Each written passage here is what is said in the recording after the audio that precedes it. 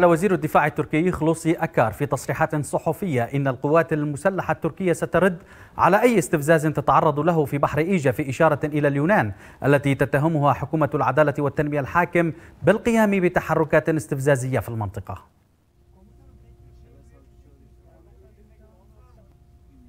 في سياق التهديدات المتواصلة التي تطلقها حكومة العدالة والتنمية ضد جيرانها وخاصة اليونان أكد وزير الدفاع التركي خلوصي أكار خلال كلمة ألقاها في قيادة القوات الجوية الثانية بمحافظة أزمير غربي تركيا أن الجيش التركي سيرد على أي استفزاز تتعرض له في بحر إيجا.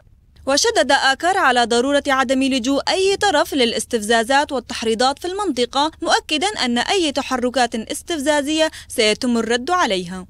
وكان الوزير التركي قال في تصريحات سابقة أن قوات بلاده المسلحة مستعدة للقيام بأية مهمة تلقى على عاتقها في منطقة بحر إيجا محذرا من إجراء البعض حسابات خاطئة حول تركيا. وكان رئيس الوزراء اليوناني أليكسس تيسبراس قد أدان اللهجة العدائية لتركيا بسبب التوترات بين الطرفين في بحر إيجا مؤكدا أن الاستفزازات ضد بلد عضو في الاتحاد الأوروبي تستهدف كل الاتحاد الأوروبي. وفي آذار مارس الماضي اتهمت اليونان جارتها تركيا بتأجيج التوتر في بحر إيجا واتخذت الخارجية اليونانية خطوة قوية ضد تركيا واستدعت السفير التركي للاحتجاج على ما قامت به مقاتلات تركية من اعتراض طائرة رئيس الوزراء اليوناني في أجواء بحر إيجا. يشار إلى أن منطقة بحر إيجا تشهد توترا بين تركيا واليونان وتتهم تركيا سفنا وزوارق يونانية بالقيام بتحركات استفزازية في المنطقة. في حين تتهم اليونان أنقرة بانتظام بخرق مجالها الجوي والبحري في بحر إيجا.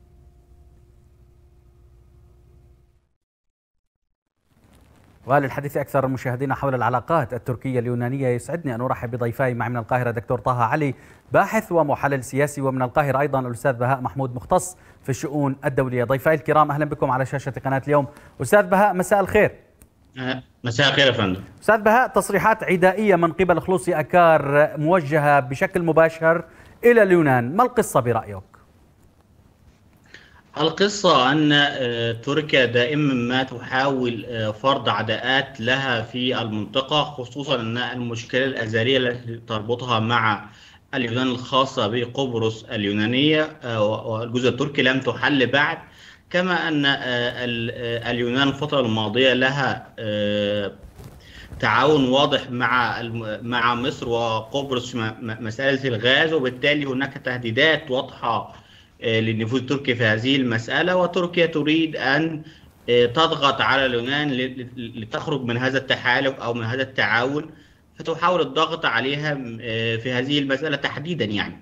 كعادة تركيا أنها لا تريد أن أن توقف حجم العداءات مع الاتحاد الأوروبي عموما ومع أوروبا كلما أرادت أوروبا أن تبعد تركيا عن عضويتها أو تصرح أنه لا أمل. فتحاول تركيا من وقت لآخر الضغط على كل قوى كل منافذ الضعف أو طيب كل وكأنه وكأنه يعني المفروض بالعكس لما يكون في خلاف أو يكون في شيء آخر يجب على تركيا أن تتودد بطريقة دبلوماسية أو تحاول إيجاد طرق لخلق جو اتصال أو تفاؤل. لماذا؟ هذه دعنا نقول ردة الفعل العدوانية من قبل تركيا. يعني أبسط المحللين يعرف بأنها سيزيد من الطين بلة كما يقال. للأسف هو منهج تركيا هو مسألة هو يرى أن هذا الأسلوب سوف يعود عليه بالنفع. مسألة أسلوب الضغط المباشر على الأطراف الأخرى كي تأتي بالأهداف. هو ده وجهة نظر الإدارة التركية. تركيا ترى ذلك مفيد لسياسة خارجية مفيد لأهدافها لكن على العكس تماما الاتحاد الأوروبي ودوله سواء الدول التي لها جوار مباشر مع تركيا أو الدول أو دول اوروبا عموما لا تستسلم لهذه السياسة ولا ترضخ لها بالعكس مستمر مستمرة في رفضها ل هذه المسألة من ناحية تركيا سواء الوضع في قبرص أو التحالف الخاص ب والتعاون الخاص مع مصر واليونان في مسألة اكتشاف الغاز. وكذلك اختلافهم على الوضع في سوريا. كل هذه المسائل تحاول تركيا الضغط عليها لكن لما لا فائدة من ذلك يعني. ضيف من القاهره أيضا دكتور طه علي وجه لك التحية. مساء الخير دكتور طه. أهلا بك أهلا وسهلا. دكتور طه بعد التحرش التركي من خلال المقاتلات التركية بطائرة رئيس الوزراء اليوناني الآن نرى تصريح من قبل وزير الدفاع التركي يهدد فيه اليونان بشكل مباشر. سألت أنا الأستاذ بهاء محمود ما القصة؟ بوجه نفس السؤال على حضرتك دكتور طه. بدي أخذ وجهة نظرك بهذا الموضوع. يعني بداية خلينا نقول إن التصرف التركي الأخير بيتفق مع التصرفات السابقة مسألة التحرش بالزورق الذي كان يعني يقوده وزير الدفاع التركي في عفوا اليوناني في محاولة لوضع كليل من الظهور على الجنوب إلى آخره وغيرها من الأمثلة التي تعكس رغبة أو سلوك عدواني تركي تجاه ليست اليونان فحسب ولا قبرص فحسب ولكن تجاه كافة القضايا الخارجية والإقليمية التي تنخرط فيها تركيا الملاحظ عليها هذا النهج العدائي. ربما ما يفسره سلسلة الاضطرابات الداخلية والإخفاقات التي مني بها حزب العدالة والتركية بقيادة رجب طيب أردوغان. وبالتالي هناك من نماذج تفسير العلاقات الدولية ما يعرف بإدارة الأزمات بأزمات أخرى لشغل الرأي العام في عن هذه الأزمات. أيضا أردوغان داخليا يعاني إشكالية من ضغوط متزايدة من التيار القومي بقيادة مجدار أوغلو الذي دوما ما كان يطعن في وطنية أردوغان باعتباره وطنية زائفة ويدفعه إلى المزيد من اتخاذ سلوكيات أكثر حزما ضد الجانب اليوناني ويذكره بما بأيام دون بولند اجاويد حيث كان الطيران التركي يحلق فوق الجزر اليونانيه.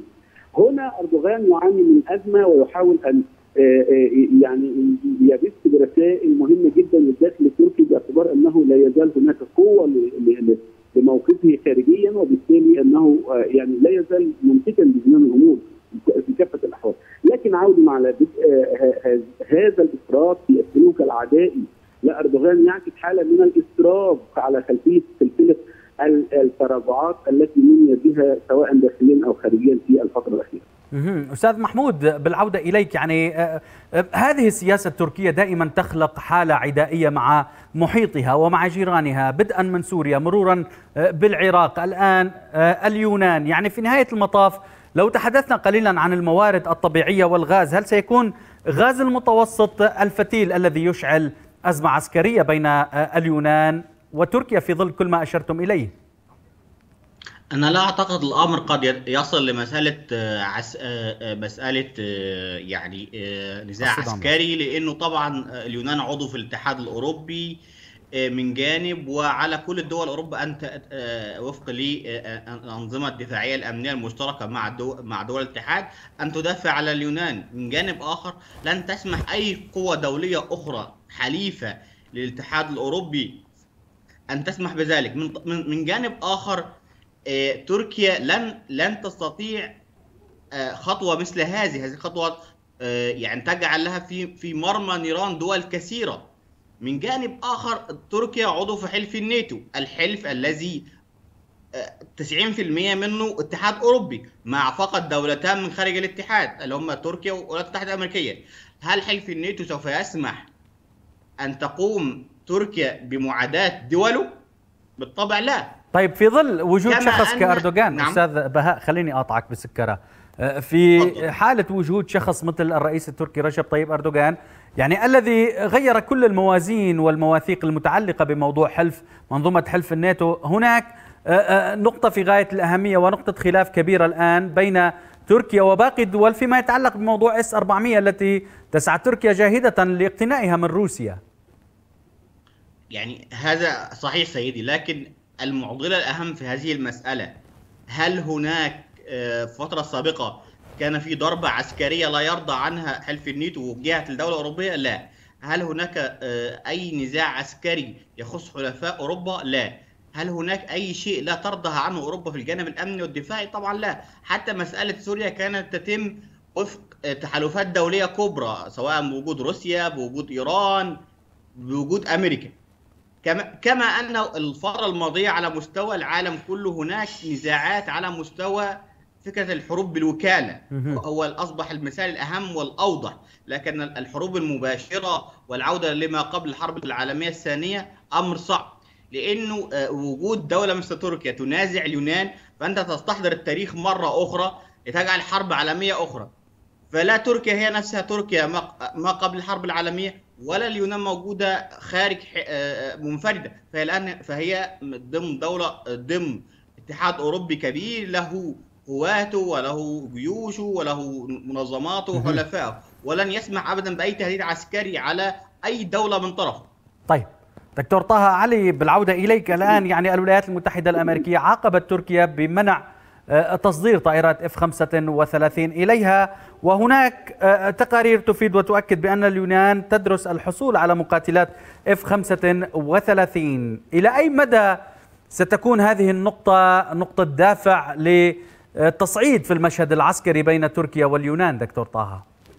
يعني من غير المستبعد أن يقوم ان أو أن يتوصل الجانبان اليوناني والأمريكي إلى صفقة من هذا القبيل باعتبار أن الرئيس الأمريكي دونالد ترامب يسعى إلى إحكام الخناق ومحاصرة أردوغان من كافة الجوانب وخاصة إذا ما علمنا حساسية الجبهة اليونانية بالنسبة لسياسات أردوغان الخارجية باعتبار باعتبار أنها من ناحية قضية جيو استراتيجيه تتصل بالأمن القومي التركي بشكل عام بالإضافة لأنها مسألة اقتصادية يسعى أردوغان من خلالها للحصول على موارد في ظل أزمة اقتصادية وعاني منها بشدة، كل ذلك من جانب ومن جانب آخر في مواجهة ضغط داخلي زي ما أشرت لحضرتك وخاصة في أعقاب الظروف الأخيرة اللي كلنا عارفينها، وبالتالي من غير المستبعد أن يلجأ أردوغان عفوا ترامب لإحداث حالة من التوازن الاستراتيجي. وربما تدعم أوروبا أيضا اليونان وليس الولايات المتحدة فحسب في هذا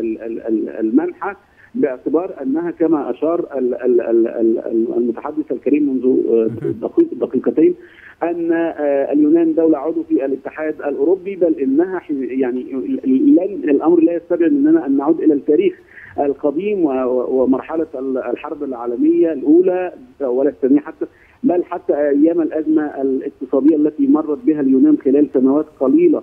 آه جميعنا يعلم كيف احتشد المجتمع الأوروبي لدعم اليونان. فما بالك وإن كانت المسألة أمنية في المقام الأول تتصل ب بيئة الأمن في البحر المتوسط وما له من أهمية في التجارة العالمية بشكل عام.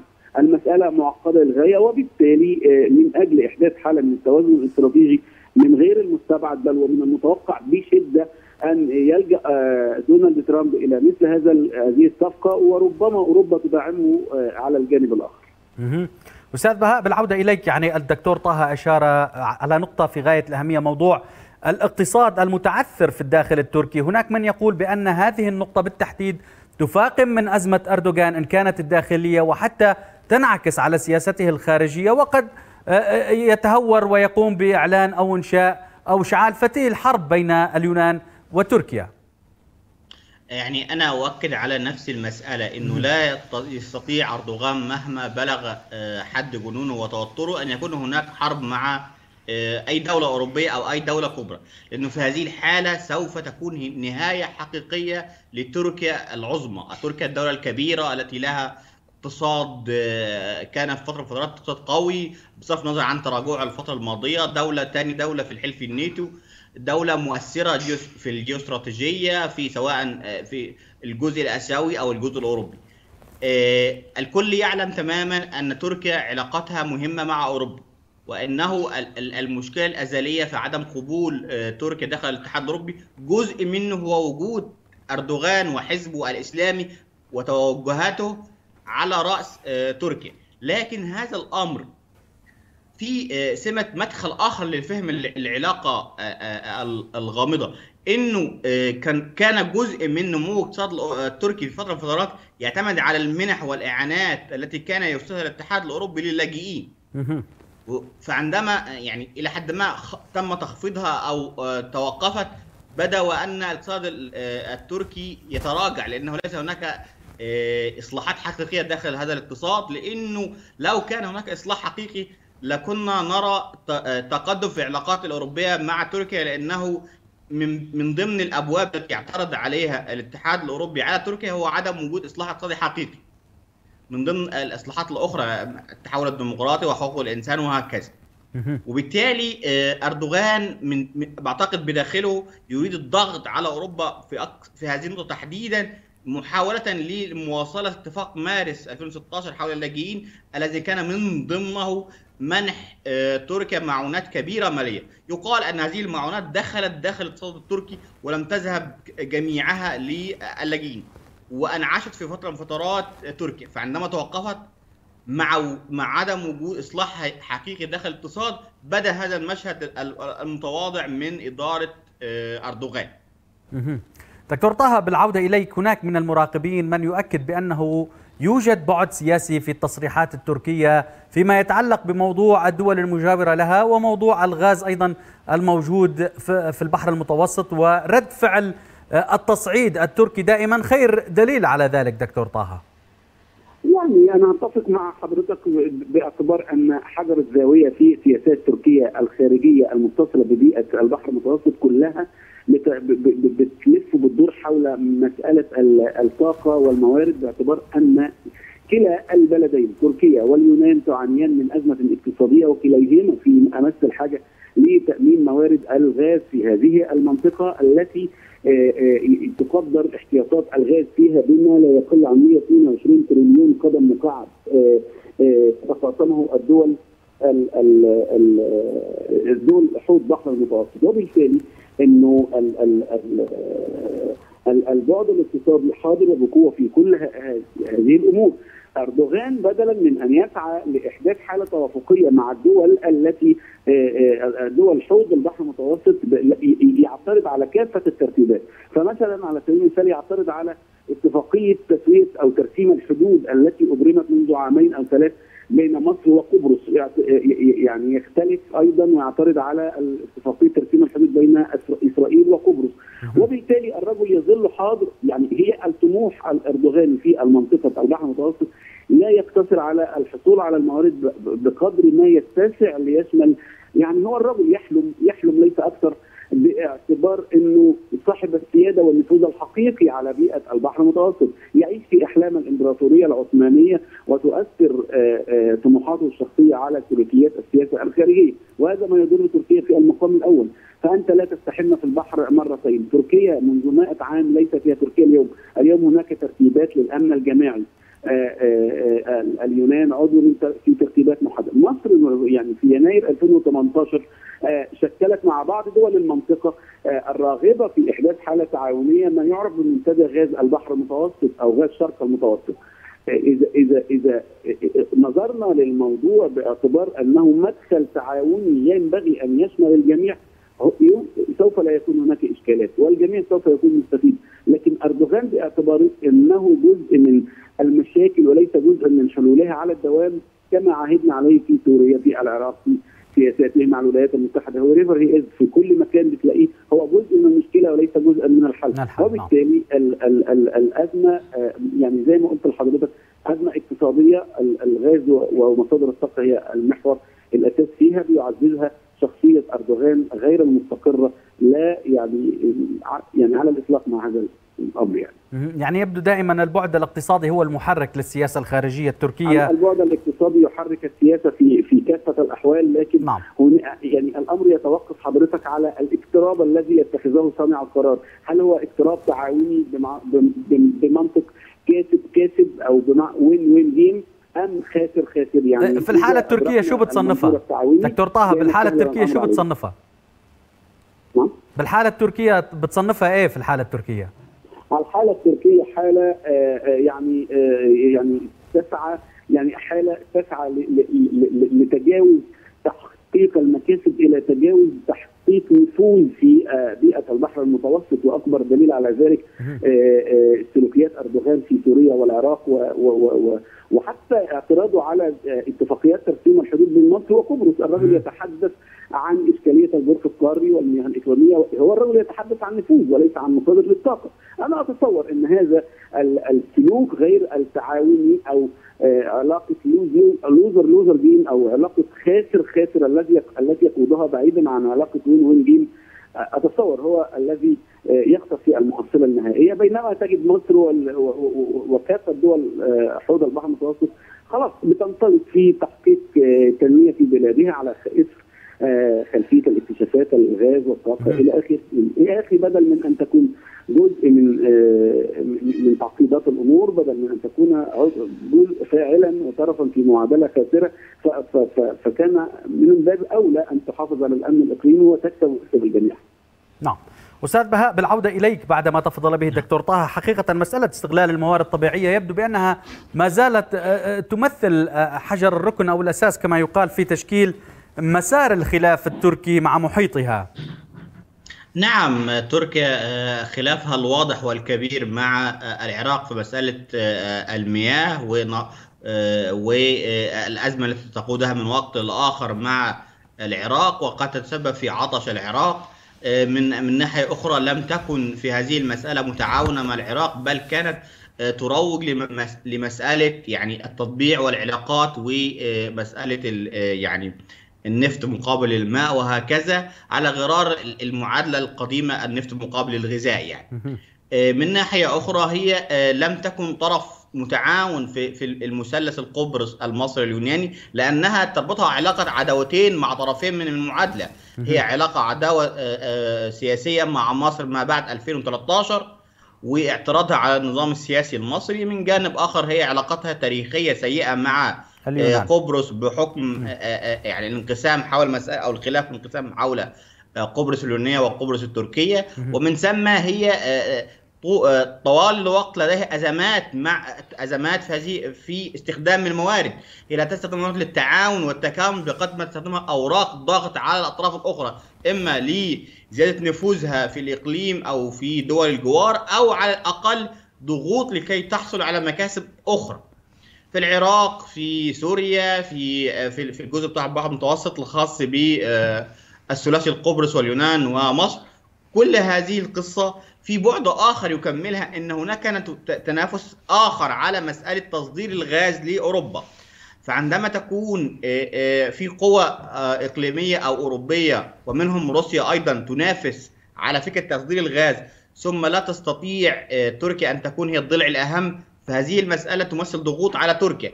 عندما تكون هناك منافسة أخرى ما بين أمريكا وروسيا على على السوق الأوروبي للغاز فهذه أوراق ضغط أخرى. لذلك هي تحاول أن يعني أن تستدخل في أكثر المعارك أملا في أن تنتصر. هي لن تستطيع الانتصار على معركة أحد طرفيها روسيا أو أمريكا. لكن تحاول أن الانتصار على الأطراف التي تراها أقل قوة بالنسبة لها يعني سواء كان الطرف الثلاثي الذي ذكرناه أو محاولة يعني حصول على مكاسب من الأزمة في روسيا خاصة إن روسيا قصدي سوريا خاصة ان سوريا هي أيضا مبشرة في مسألة الغاز لأنها لها في حدودها في البحر المتوسط لديها يعني إلى حد ما نقول مستقبل كبير في هذه المسألة. نعم. هناك شافت في الغاز متوقعة. طيب. وبالتالي أنت تتحدث على إنها طرف خاسر حقيقي في كل هذه المسائل. طيب. دكتور طه سؤال أخير أختم معك بدقيقة يا ريت لو تعطيني الجواب في ظل كل ما تم ورده وذكره في الحلقة من قبلك ومن قبل الأستاذ بهاء محمود برأيك في نهاية المطاف هل نشهد حربا بين الطرفين أم سيكون هناك تجاوز لكل هذه المشاكل ونقاط الخلاف العالقة؟ يعني ختاما آه عفوا آه قرارات الحرب دائما آه لا, مهما كانت رعونه صانع القرار مثل أردوغان أنا أتصور أنه آخر القرار أو الملاذ الأخير وهو قرار له شروطه وظروفها الخارجية والداخلية وكلام كتير يطول شرحه في هذه المسألة. أنا أتصور إن تصريحات اليوم إنما جاءت في إطار مغازلة لاتجاهات معينة ألا وهي التيار القومي في الداخل التركي. أيضا استمرار لمسلسل يعني إيه هنقول المناكفات والمناورات ما بين تركيا واليونان ولكن الأمر لم يعني من غير المتوقع أن يصل إلى كونيه حرب في المستقبل. ذلك أن مسألة الحروب دائما قرارات معقدة ولا تتم بموجب تصريحات من هنا أو من هناك. نعم ضيفي من القاهرة دكتور طه علي باحث ومحلل سياسي. شكرا جزيلا لك على كل الإضاءات والشكر لك أيضا ضيفي من القاهرة الأستاذ بهاء محمود مختص في الشؤون الدولية. الشكر الأعظم لكم مشاهدينا على طيب وحسن تابع دمتم بخير إلى اللقاء.